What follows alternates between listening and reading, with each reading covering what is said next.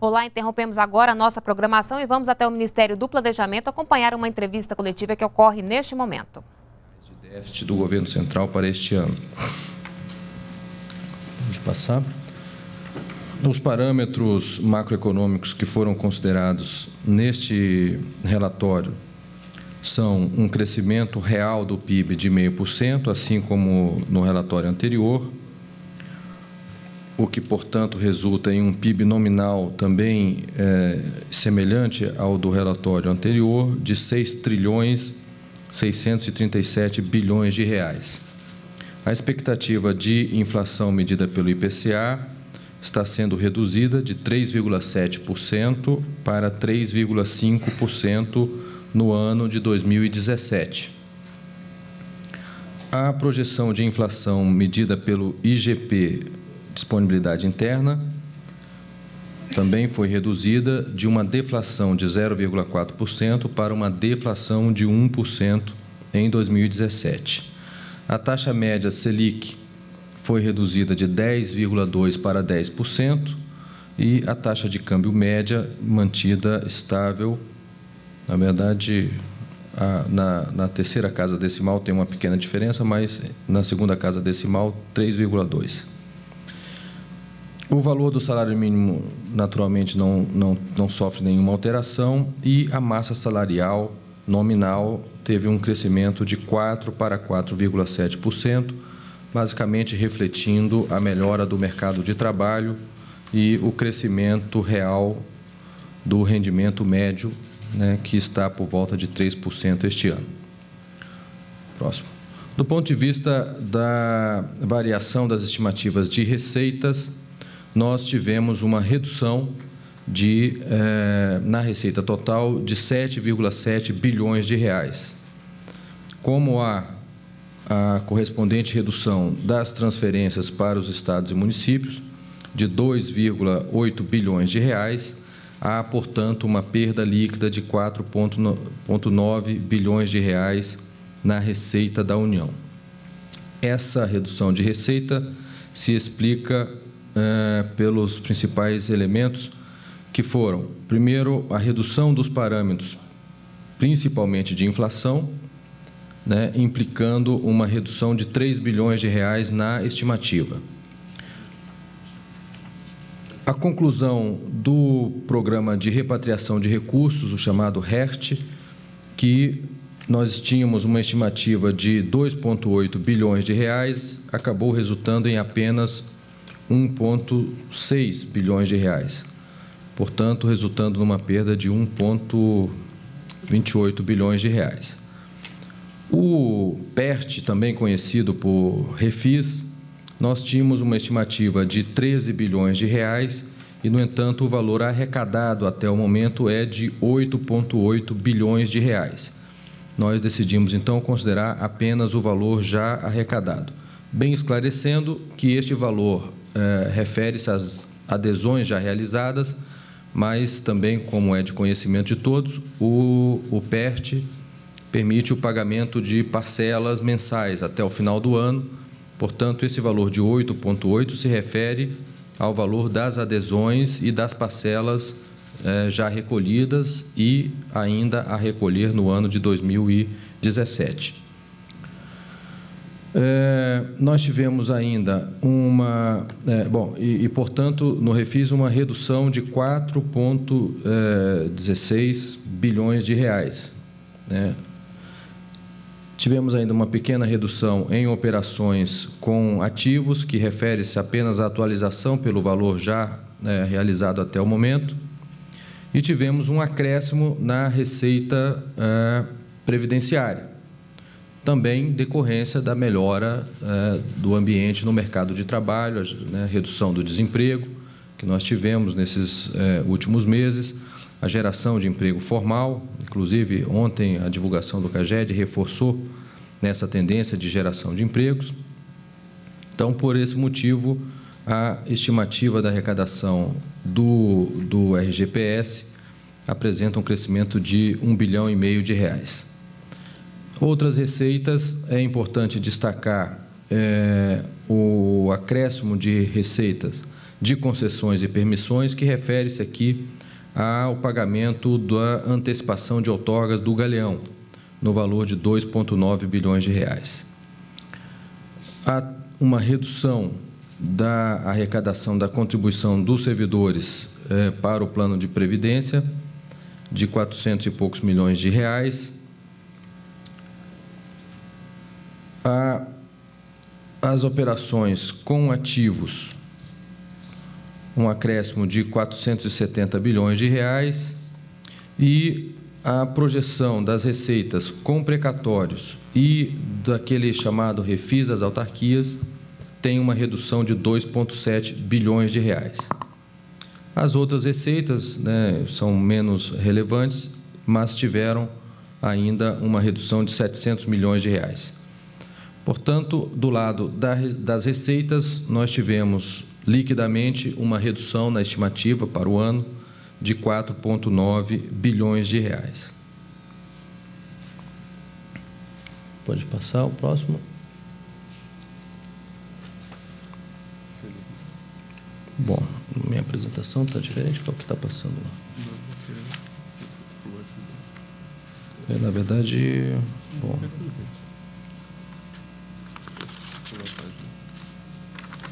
É, na verdade eu pulei a página. Vamos voltar lá para o slide 3.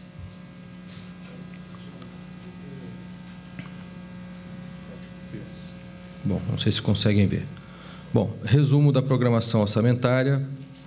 Nós temos uma uh, redução na receita líquida de 4,9 bilhões de reais, um aumento nas despesas uh, primárias, particularmente as despesas é, com a saúde de 2 bilhões de reais e de outras despesas obrigatórias de 2,5 bilhões de reais, resultando, portanto, num aumento total das despesas de 2, quase 2,3 bilhões de reais. Resumidamente, é, isso implica, portanto, numa alteração de resultado primário de 7 bilhões de reais, ou seja, nós teríamos, é, em relação ao relatório anterior, um resultado primário de 146 bilhões de reais. Considerando a meta de 159, nós teremos, portanto, um espaço de 12 bilhões 824 milhões de reais para expansão da despesa discricionária. Pode passar o próximo agora, sim. Bom, acaba que eu já, já, já mencionei a parte das receitas. Eu vou passar então para o slide 6, onde nós detalhamos as despesas. Do lado das despesas, nós tivemos, portanto, um acréscimo de 2,2 bilhões de reais, que basicamente tem o aumento da, dessas despesas com controle de fluxo aqui que a gente identifica, na verdade é saúde é o cumprimento do mínimo da saúde. O seguro-desemprego teve um aumento de 1,3 bilhões, chegando, portanto, a uma estimativa de 43 bilhões de reais de despesa com o seguro-desemprego. E o abono salarial teve uma pequena redução, mantendo aproximadamente o nível anterior, 16,7 bilhões de reais de despesa com o abono salarial. A previdência se manteve razoavelmente estável, em torno de 559 bilhões de reais. As despesas de pessoal, que aqui inclui também cargos e inativos, 284 bilhões de reais. As demais despesas obrigatórias também tiveram um acréscimo pequeno de aproximadamente 100 milhões de reais, ficando então em 118 bilhões de reais. E as despesas de subsídios um pequeno, uma pequena redução de 226 milhões de reais, perfazendo um total de 24,6 bilhões de reais. Tivemos ainda uma pequena redução nas despesas com sentenças judiciais, reduzindo-se de 11,2 para 10,8 bilhões de reais a despesa com sentenças judiciais. O meu aqui. Bom, resumidamente, é, neste relatório nós tivemos uma redução das receitas estimadas de 4,9 bilhões de reais, um aumento na despesa de 2,2 bilhões de reais e, tendo em vista o aumento de 20 bilhões de reais na meta, nós teremos uma possibilidade de expansão da despesa discricionária de 12,8 bilhões de reais. Esse valor será é, distribuído através do, do decreto de programação orçamentária e financeira, que normalmente é publicado até o dia 30 do mês é, em que é apresentado o relatório. Portanto, ao longo da próxima semana, até o final da próxima semana, nós divulgaremos a, a, a distribuição desses recursos entre os órgãos do governo federal nós buscaremos nessa distribuição garantir os recursos mínimos necessários para o funcionamento dos serviços públicos é, dentro da, da normalidade. Então, é, nós ainda nesse momento não, não divulgaremos a, a, a, composição dessa, dessa ampliação de recursos e faremos isso ao longo da próxima semana. Perguntas. Ministro, é, com esse descontingenciamento de 12 bi, dá para chegar até o final do, aqui, ó, dá para chegar até o final do ano sem parar nenhum serviço do funcionalismo, sem parar nenhum serviço e, e, terminar assim? Se o governo continua com a mesma previsão para o que, que quanto que reduziu de precatório e quanto foi do refis das autarquias, assim especificamente cada um, e se dentro das concessões o senhor pode dizer se o que já tem de Casa da Moeda, o que, que já tem dentro? Obrigada.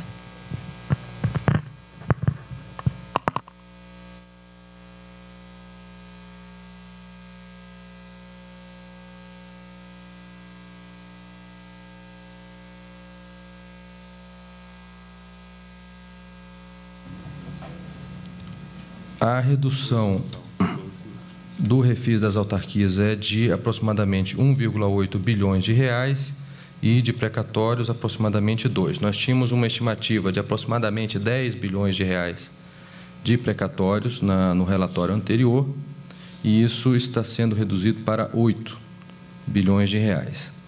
Isso, na verdade, não é mais projeção, isso é o efetivamente já arrecadado.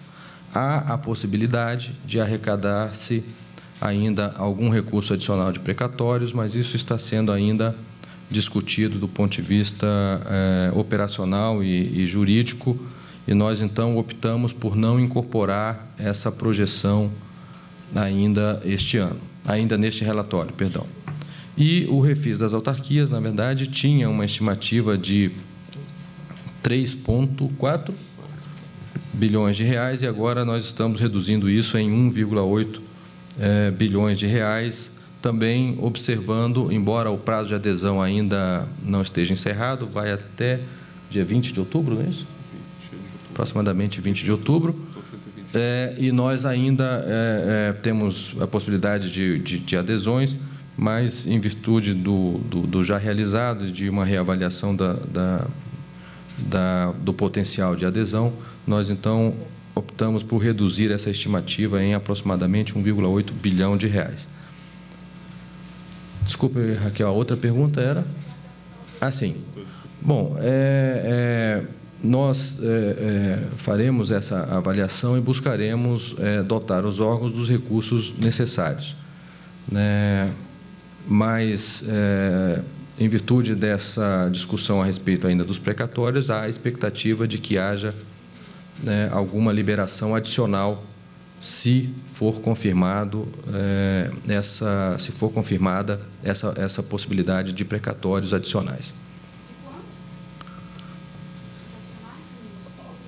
Há uma, é, há uma, uma potencialidade entre 2 e 4 bilhões de reais.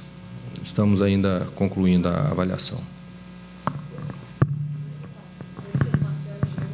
Martelo do, do Portal G1. Boa tarde, ministro, tudo bem? Eu vi aqui que vocês é, revisaram né, as estimativas de receita e despesa e isso consumiu um espaço de 7, quase 7,2. Vocês optaram por liberar todo o restante do espaço fiscal, não sobrou nenhuma margem, diferentemente do que vocês tinham feito até então nos outros relatórios. É, eu sei que o serviço público está difícil, tá, tem várias coisas parando, está complicado né, para o pessoal, o serviço público, mas também há uma meta fiscal a ser cumprida. Isso não pode é, é, comprometer o cumprimento da meta fiscal. Tem muita gente dizendo que a meta vai ter que ser revisada novamente no mercado financeiro já. Uhum. Perguntar também sobre o PIB. Vocês mantiveram em 0,5%, quando todo mundo está prevendo um crescimento maior, Banco Central, mercado financeiro. Vocês optaram pelo conservadorismo. É, revisando para cima, não poderia é, melhorar um pouquinho essa expectativa de receita e contribuir aí para esses números? CEMIG continua em 11 bilhões. E eu queria saber também, Refis, essa previsão nova considera o valor arrecadado até então também, ou vocês acham que vai entrar mais alguma coisa até o fim do mês? Obrigado. É, Matéria, exatamente. Nós, na verdade, temos várias margens de segurança é, nesse relatório. Primeiro, há algumas despesas é, que têm, digamos, um histórico de execução muito baixa e que, é, no entanto, por força de, de, de, decisões judiciais, nós estamos tendo que deixar a dotação disponível. É o caso, principalmente, do fundo penitenciário, que o ano passado, por exemplo, deixou de executar um bilhão de reais. E esse ano, além de colocar aquele um bilhão que ele não executou o ano passado, nós estamos, temos que colocar, por decisão judicial, todo o valor disponível do fluxo deste ano. Então, nós estimamos que uma parte considerável desse valor pode não, não ser executada. Há também uma né, natural e, e, e histórica é, margem de não execução do, do orçamento. Isso é natural, os órgãos nem sempre conseguem executar 100%. Tem também o fato de que nós já estamos muito próximos do final do ano. Né? Então, é, essa liberação agora é, digamos, já está é, muito próximo do limite. Não adianta também liberar recursos muito no final do ano que acaba não sendo é, possível utilizar. Além disso, nós colocamos a estimativa do Refis apenas o que já foi né, obtido de adesão. O prazo de adesão vai até o final do mês, portanto, é provável que haja é, adesões adicionais, e isso não foi é, contabilizado.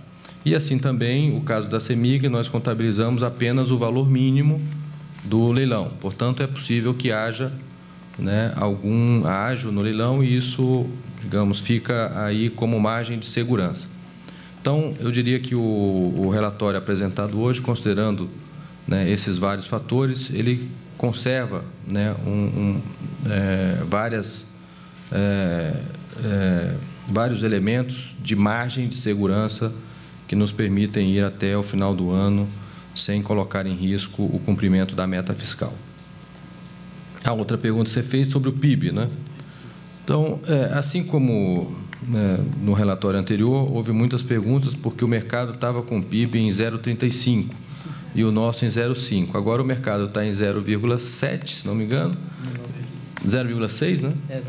0,6 é, e nós estamos em 0,5. Então, é, nós temos procurado manter as nossas estimativas próximas das de mercado, mas também né, não há a necessidade de acompanharmos né, é, a cada momento, até porque isso gera alguma volatilidade nas nossas estimativas. Além disso, eu te diria que hoje uma alteração do PIB de 0,5 para 0,7 não provocaria nenhuma é, é, alteração relevante na estimativa de arrecadação, porque isso impactaria, digamos, os meses de outubro, novembro e dezembro apenas. Né? Então, não, não seria dizer, um impacto muito relevante. No começo do ano, isso faz muita diferença, mas a essa altura do campeonato, já não, não é muito relevante se o PIB é 0,5, 0,6 ou 0,7. Ministro, boa tarde. Primeiro, eu queria entender como é que vai ser feita essa, ou, ou essa possível liberação de, de, mais recursos a partir dos precatórios. É, até, a gente, até onde a gente sabe, é, tinha uma ideia de se fazer uma portaria, só que eu queria entender como que uma portaria pode é, promover a liberação desses recursos que estão bloqueados pela justiça, que é um, uhum. um outro poder. É, então, eu queria entender melhor como é que isso pode acontecer, né, para incrementar as receitas do governo. Eu também queria insistir um pouco na pergunta de, de como é que vai ser a distribuição. Eu sei que o senhor não vai poder detalhar exatamente agora, mas pelo menos é, listar alguns dos algumas das atividades que, que vão ser priorizadas, né, que estão em mais dificuldade agora, nesse momento.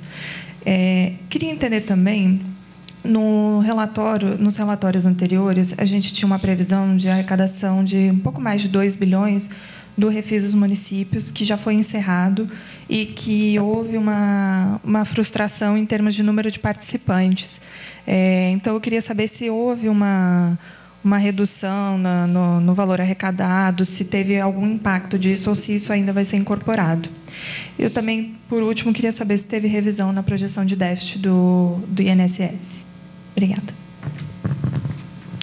É, bom, Primeiro, a, a questão da, do refis dos municípios, ele já está, como ele já se encerrou, ele já foi incorporado no, na, na, na projeção de arrecadação é, realizada. Né?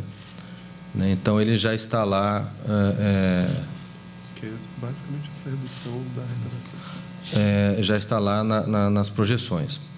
Uh, a segunda questão que você faz é sobre uh, o déficit da Previdência. Sim, há uma redução do déficit do sistema do RGPS em virtude desse aumento da arrecadação que eu mencionei.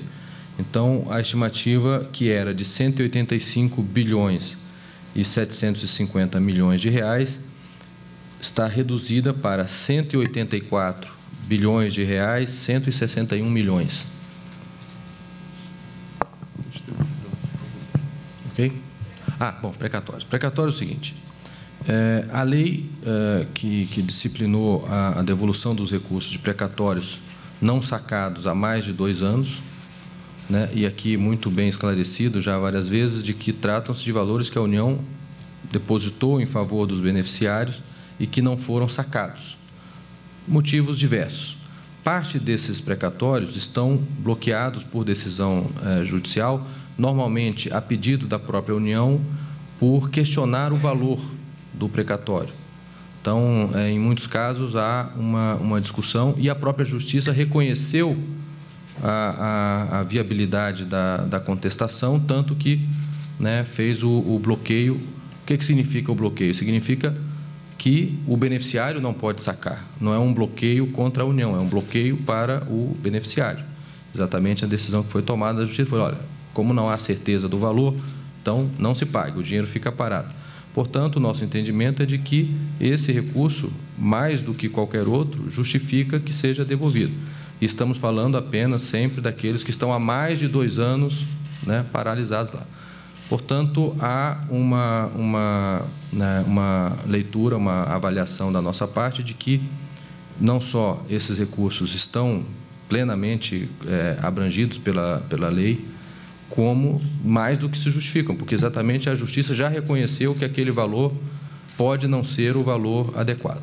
O que se está discutindo é o que, que acontece se, após a devolução desses recursos para a União, a justiça decidir pelo pagamento. Né? Então, é isso que nós estamos regulando através dessa portaria e para que tenhamos toda a segurança jurídica e toda a cautela é, com isso, nós optamos por não incluir neste momento no relatório, para que é, haja a definição de um procedimento bastante transparente e que garanta que, caso haja a decisão da Justiça, os recursos sejam é, disponibilizados para os beneficiários. Então, a cautela aqui é assegurar o direito do beneficiário, caso haja uma decisão da, da União, da, da Justiça, de reverter esse bloqueio. Mas Hã? Ah, bom. A, a, distribuição dos recursos nós vamos falar na semana que vem. Não, não, não vou, é, não acho que seja conveniente antecipar é, nesse momento uma decisão que não foi tomada e que na verdade não é minha. Tá. É. Ministro, só assim reforçando a pergunta da Ediana, é, com relação à, questão dos precatórios.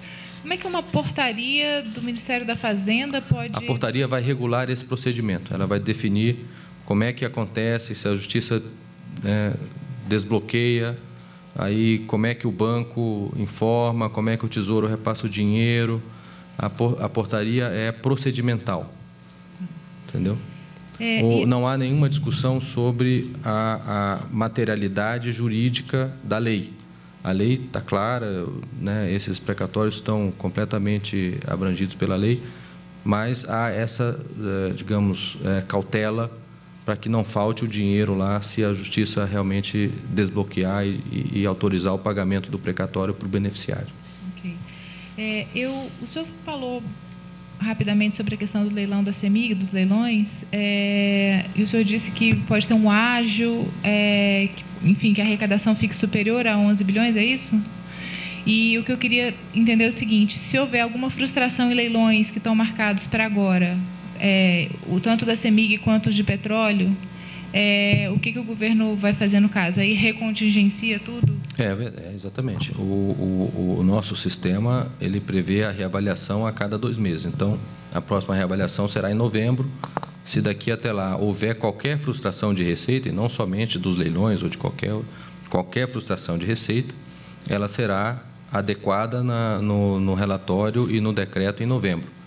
Então, se houver perda de receita daqui até lá, como nós já fizemos em diversas circunstâncias, teremos que fazer também um contingenciamento. Mas é, eu diria que não é a nossa expectativa.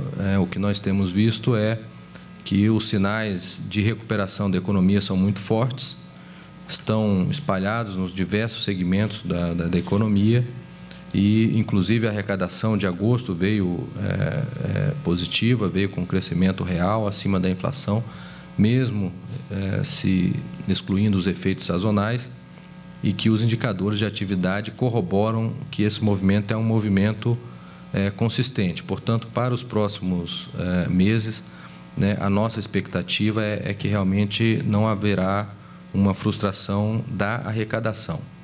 E assim também, como eu já expliquei, nós estamos aqui considerando sempre os valores mínimos dos, dos leilões. Então, é, a nossa expectativa é de que realmente não, não, não haja a arrecadação apenas do valor mínimo.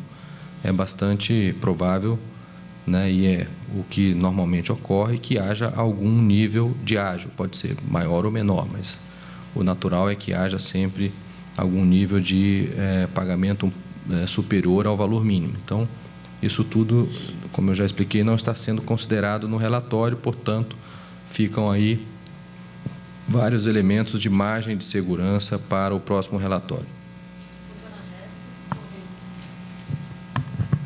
Oi, boa tarde, é, ministro. É, eu queria, queria esclarecer, porque eu não conseguir identificar aqui o, o, valor total da previsão de concessões. Foi corrigido, porque no relatório anterior eram 25 bilhões e alguma coisa. E também, quanto que vocês estão contabilizando de receita do Refis, né, que termina agora na semana que vem, nessa, conta? Do Refis estamos contabilizando 8,8 bilhões. Mas aí era 13, era 13 bilhões. Nós estamos contabilizando 8,8, portanto, uma redução de 4 bilhões e 160 milhões, né? E nós estamos considerando apenas os valores das adesões já realizadas. Como o prazo de adesão vai até o final do mês, pode ser que haja ainda mais adesões, é normal que haja, né? E, e é normal que haja uma certa concentração de adesões mais no final do período e, portanto, esse valor adicional que, que viria das, dessas adesões até o final do mês, elas não estão consideradas aqui no relatório e ficam aí, então, como uma margem para ah, as próximas ah, revisões. O valor de concessões e permissões passa de 25,686 milhões para 28,632. 632. A, a alteração se dá quase que exclusivamente pela incorporação do pagamento do galeão, que é, representa aproximadamente 3 bilhões de, de reais. Coisa, ministro, é, com relação à, à frustração de receita, então, vocês não estão considerando, por exemplo, a não realização de nenhum leilão, esse tipo de coisa, né? E porque como que fica, aliás, vocês até aumentaram. Basicamente, nós temos dois leilões. É, o petróleo, leilão né? de petróleo e o leilão e da CEMIG. Da CEMIG. Né? Até o momento, nada leva a crer é, que eles não serão bem-sucedidos. Pelo contrário, né, o que temos até o momento é, é a sinalização muito positiva de participantes, de interessados, e uma expectativa muito positiva a respeito desses dois leilões.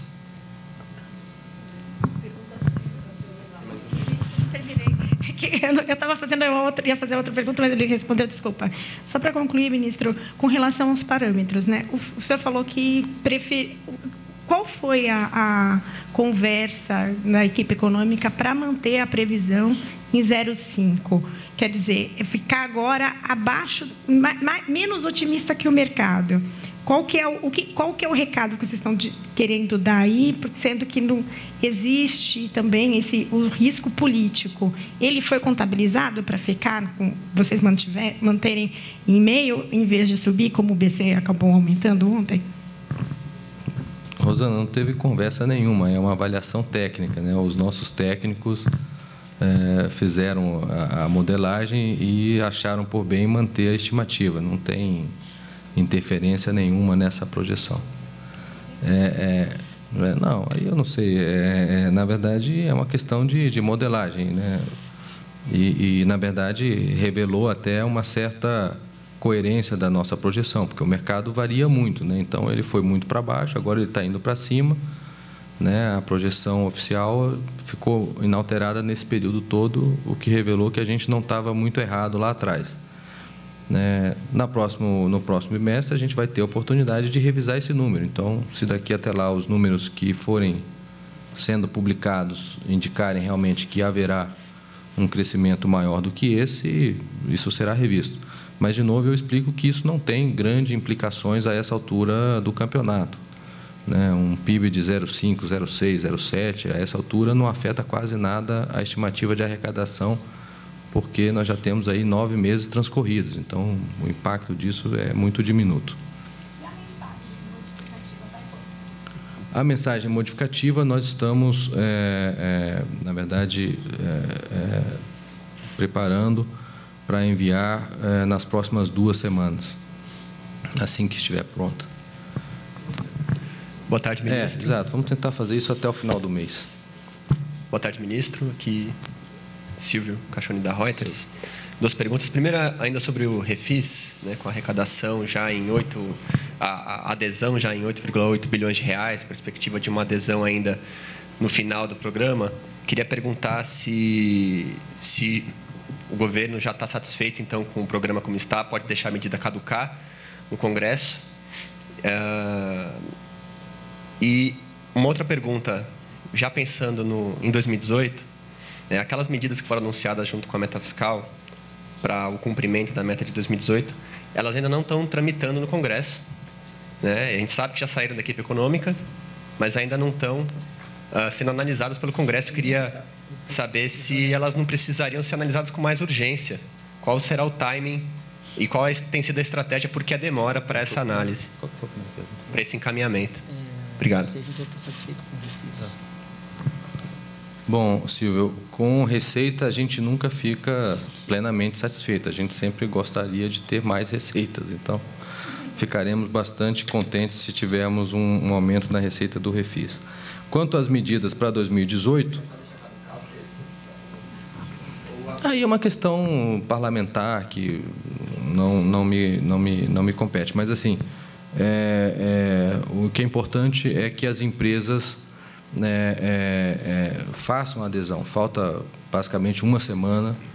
Né, então, aquelas empresas que realmente pretendam se, se regularizar devem buscar a, a Receita Federal e fazer adesão, até porque, se houver qualquer alteração, essa alteração será também é, é, é benéfica para todos que aderirem. Então, é, a sugestão que nós temos feito para as empresas é de que realmente é, façam adesão até para né, nos permitir ter uma estimativa mais adequada de quanto será a arrecadação.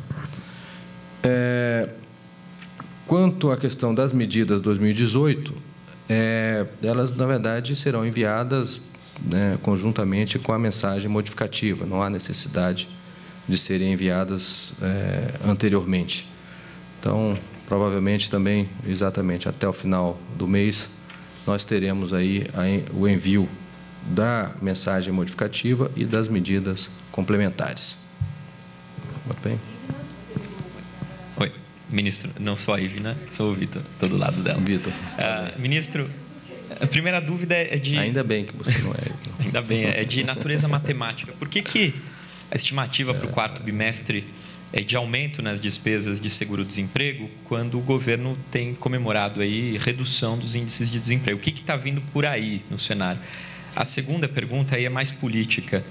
Ah, dessa, dessas estimativas de, de distribuição do, do que está sobrando aí para a meta fiscal, que vai ser anunciada semana que vem, o quanto disso pode ser por emenda e quanto isso pode ser contaminado pela discussão de distribuição de emenda em meio à a, a, a, avaliação de um processo de uma denúncia contra o presidente Temer já a partir da semana que vem na Câmara dos Deputados. E aí, se o senhor me permitir, eu queria falar uma, uma questão sobre uma discussão que está lá no Congresso, cada vez mais crescente, de uso de emenda de bancada para pagar a campanha eleitoral do ano que vem. Ah, esse ano, dos 6 bilhões de emenda de bancada, só foram pagos 59 milhões. Quanto disso é factível de ser cumprido, ministro? Uh, os parlamentares estão achando que é possível gastar 3 bilhões e 600 milhões de reais só de emenda de bancada. Quanto que eles podem realmente contar com o recurso desse, desse orçamento para pagar a campanha do ano que vem? Obrigado. Sim. Bom, primeiro a questão do seguro-desemprego. Nós temos experimentado no Brasil um fenômeno muito curioso a respeito do seguro-desemprego. Né? Vocês se lembram também que quando o desemprego esteve no menor número né, da nossa história, é, nós tínhamos um seguro-desemprego que estava crescendo né, muito rapidamente.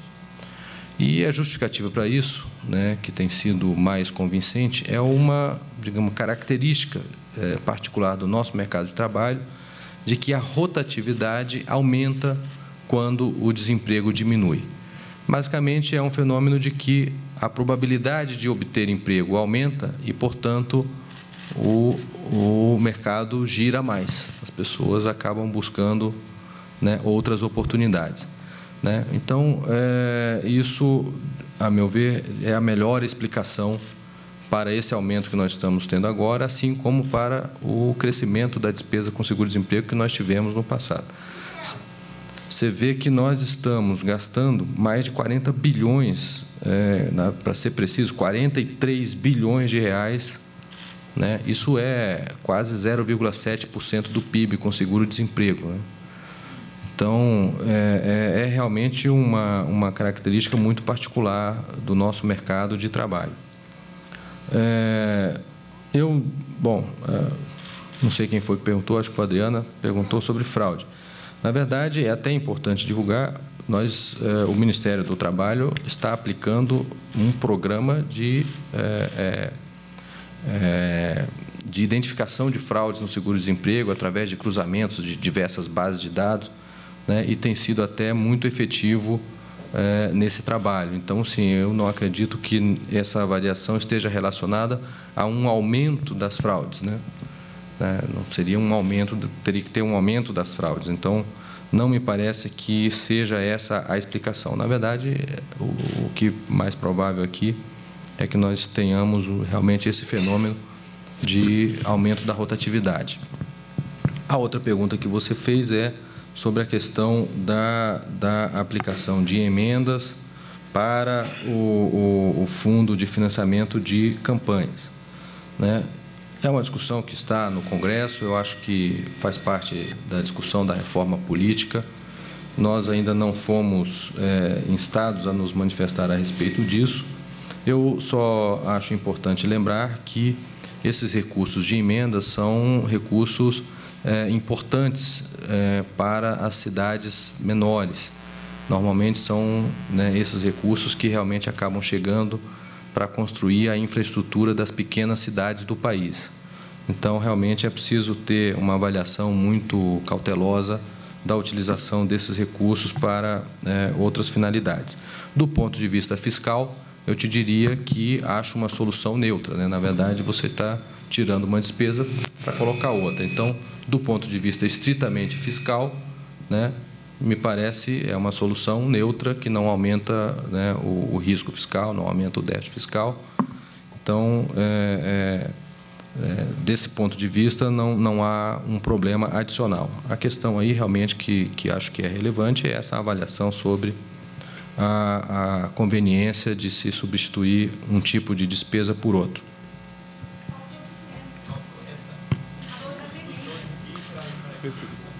É, o, o, o, o que nós temos hoje é uma regra obrigatória e constitucional a respeito das emendas e proporcional. Então, cada vez que há um contingenciamento, há também um contingenciamento nas emendas. Então, é, a despeito de tudo que se falou a respeito de emendas é, no semestre passado, o que foi feito foi uma redução de 600 milhões em julho. No relatório de julho, nós cortamos 600 milhões de emendas. E agora teremos que fazer o inverso. Né? Como há uma liberação de 12 bilhões, isso implica obrigatoriamente num acréscimo de 1 bilhão e 16 milhões de reais nas emendas eh, obrigatórias. 1 bilhão e 16 milhões para as emendas obrigatórias.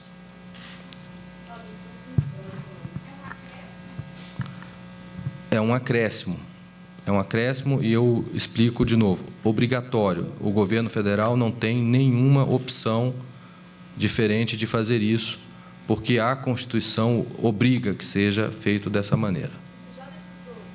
Já dentro do, dos 12, um é, é emendas. Isso. Bancada e individual. Aqui aproximadamente 650 e 350.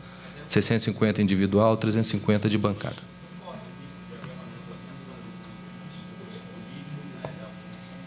Olha, eu espero que a imprensa colabore é, a, com essa explicação. É importante que as pessoas sejam informadas das coisas como elas são. Né? E é a imprensa que faz isso. Então, a imprensa poderia, neste caso, ajudar enormemente a população brasileira explicando o mecanismo explicando como é que funciona, o que, que a Constituição diz, o que, que a legislação diz, né? e explicando o que de fato vai ser feito. Né? E também seria importante que se fosse é, é, observar o, o, que, o, que, o que é feito com esse recurso, né? É, é na, na, nas cidades, no interior do país, porque eu, né, particularmente, tenho sido bastante é, é, né, repetitivo nisso eu, particularmente, acho importante esse recurso ser destinado para o interior. Talvez pela minha origem de interior, eu sei que lá no interior, quando se consegue né, uma, uma praça, uma reforma de um prédio público, uma, uma, um calçamento de uma rua, uma rede de esgoto, é o recurso que vem dessas emendas. Né? Então, a gente precisa separar né, toda a, a né, digamos assim, a, a, imagem negativa que se criou a respeito disso da efetividade que esses recursos têm, né? da, da utilidade que eles têm, principalmente nas cidades pequenas e no interior do país. Fábio Pupo. 1,016. 1 bilhão e 16 milhões. Então, 1,016. 1,016. Fábio Pupo, do Valor Econômico. Ministro, é, se o governo contava com os recursos dos precatórios é, e estava confiante no uso desses recursos, qual que é a grande discussão interna? A gente sabe que teve uma reunião ontem com o Tesouro, com a AGU. Qual que é a grande discussão interna para não ter se conseguido usar os recursos agora, antes do fechamento do relatório? Qual é o grande problema que impediu isso de ocorrer? Nós temos tido muita cautela com essas coisas, é, Fábio. Nós só temos incluído nas estimativas aquilo que nós temos realmente muita segurança. Né? Então, é, é, como se trata de uma, de uma decisão que implica né, um aumento aí de 2 a 4 bilhões é, de, de estimativa de receita, né, é preciso ter toda a formalização e tal, e não houve tempo suficiente para concluir isso até a noite de ontem. Né, isso pode ser concluído nos próximos dias, nas próximas semanas, né? E né, quando isso ocorrer, evidentemente, nós comunicaremos e incorporaremos, isso na estimativa. Então, trata-se mais uma vez de uma é, postura que nós temos adotado de muita cautela, muita segurança na inclusão de estimativas de receita.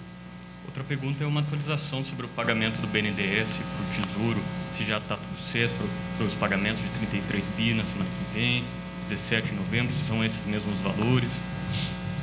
Bom, é, isso está sendo discutido. Né? O BNDES está avaliando as alternativas e tudo, e ainda não há uma decisão formalizada. Nós aguardamos a, a, a ocorrência disso no, no, decorrer da próxima semana, né? E, e, e assim que houver essa decisão, também, evidentemente, trataremos de comunicar isso adequadamente.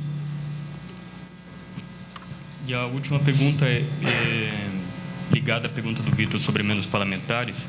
É, alguns podem dizer que o governo está liberando recursos em meio ambiente político aí tumultuado é, para atender justamente esses anseios aí de bastidores. Como que o senhor responderia a esses comentários? Eu responderia isso é, dizendo que a Constituição nos obriga a fazer isso dessa maneira e que é, não há é, nisso nenhuma ilegalidade, nenhuma ação é, é, intencional é, do governo, porque é, o contrário disso é que poderia ser criticado. Se o governo não fizer isso, aí sim estaremos cometendo um crime de desrespeito à Constituição. Portanto, é, não há nenhum motivo para se fazer esse tipo de conjectura. E, como eu já disse, muito pelo contrário né? É preciso que se compreenda que esses recursos não são recursos para os parlamentares, são recursos para projetos dos municípios, dos estados, que atendem a necessidades importantes da população que vive nos pequenos municípios e no interior do país.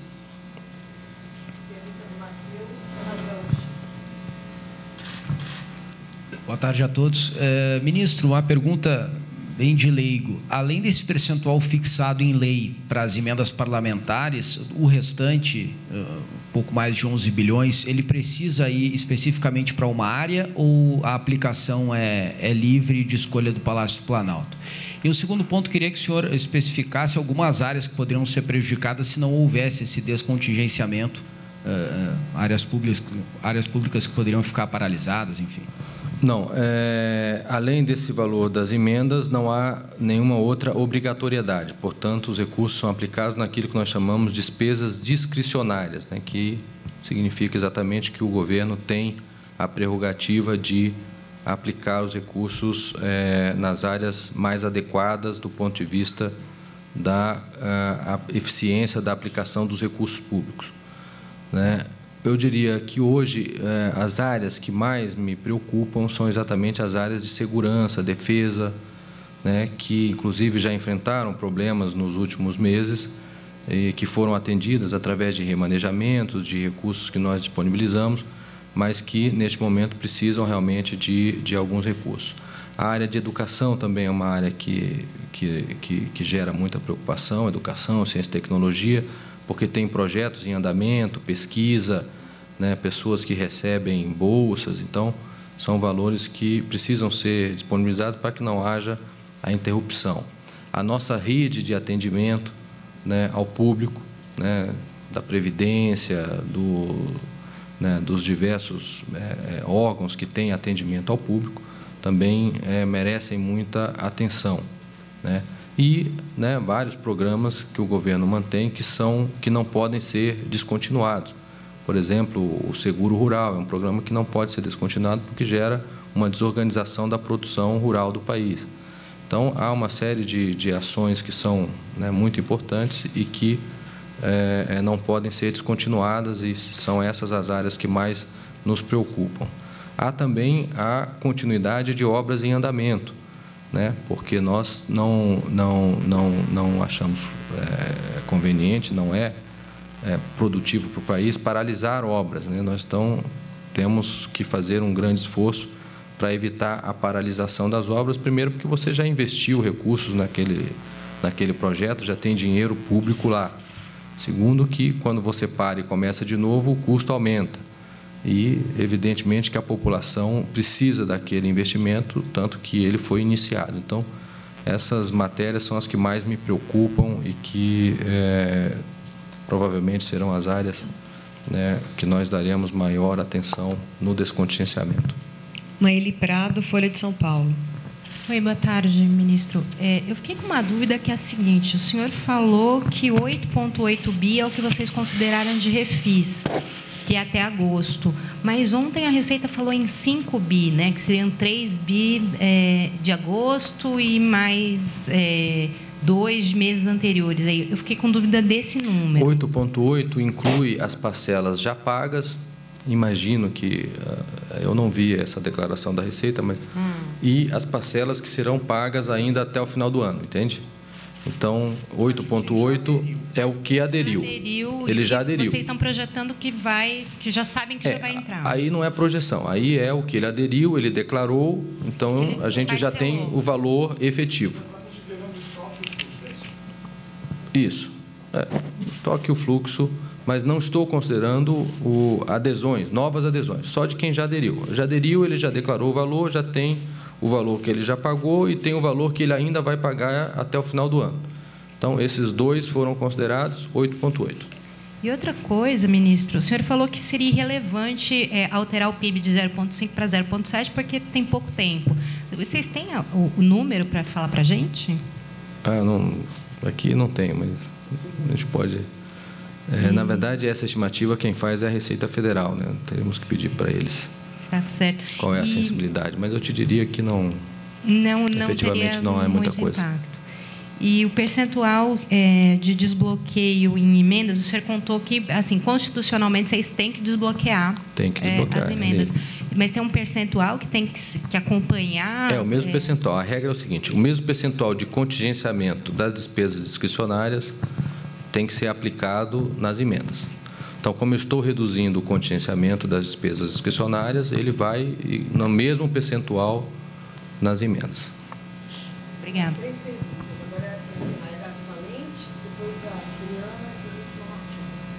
Oi, ministro Gabriel Valente do Globo. Ministro, eu queria fazer minha pergunta meio que na contramão dos meus Pô, colegas. Jura que ainda é. tem pergunta para fazer? Tem. Vocês estão prevendo o PIB de meio. Tá? O mercado está com 0,6 e o BC está com 0,7. Um bando de gente do governo já falando 0,7. A inflação, vocês estão com 3,5, BC, que é o BC que cuida do assunto, está com 3,2. A taxa Selic, vocês estão com uma média de 10, o mercado está com uma média de 9 e pouco. É, várias coisas aqui, vocês estão muito mais pessimistas do que os órgãos setoriais.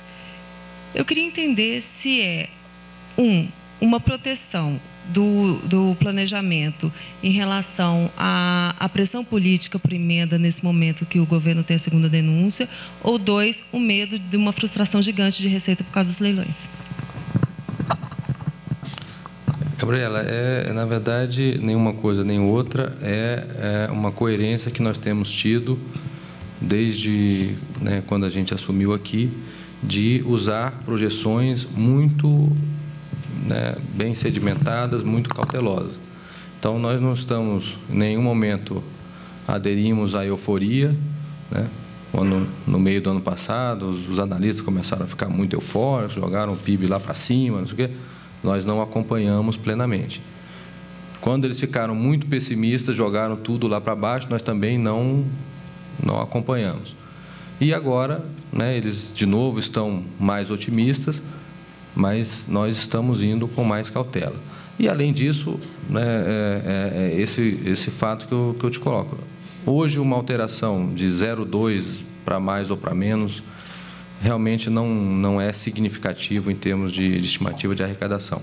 Até porque é, a gente sabe que isso não afetaria de fato a arrecadação. Mesmo que no modelo matemático, na equação ali, você chegue a um número, a gente sabe que, né, é, decorridos nove meses do ano, a arrecadação está praticamente né, é, é, é dada. Né? Nós já temos aí, né, sei lá, 70%, mais de 70% da arrecadação já arrecadada. Então, né, uma variação de 0,2 sobre 30% do que falta arrecadar não, não teria uma influência muito grande. E você tem que lembrar o seguinte, que é 0,2 no ano. Aí você divide 0,2 por 3 dozeavos. Então, na verdade, o impacto desse 0,2 é né, 3 dozeavos de 0,2. Então, é, realmente, a essa altura, é, não, não, não adianta muito é, fazer alterações na, nas projeções. É claro que nós buscaremos sempre acompanhar né, os números é, que são divulgados e uma coerência com as estimativas dos demais é, analistas. Mas realmente a essa altura não, não tem grande impacto em termos de estimativa nem de arrecadação efetiva, que é o que importa. Né? Não adianta a gente também ficar alterando a estimativa, sabendo que a arrecadação efetiva não vai acompanhar. É, boa tarde, ministro. É, eu gostaria de fazer três perguntas ao senhor. A primeira é em relação que se eu pudesse é, fazer uma avaliação menos numérica e mais de sensibilidade em relação qual o grau de alívio que esses uh, ah, 12 bilhões vão dar aos órgãos e ministérios. O senhor não precisa citar é, qual ministério vai, o senhor já, já declarou aí os setores que o senhor acha importante. É, qual, qual, qual, o que, que, isso, o que, que isso representa né, para a máquina e também é, se, é, se, se, esse alívio ele é suficiente, porque a gente já vimos que temos um, um fluxo, um, um volume de despesas contingenciáveis de cerca de 100 bilhões, se não me lembro, é um valor próximo. Isso caiu para 33, cai para 33, 33 ainda é um volume muito pesado de uma base que está vindo muito baixa já do ano que vem.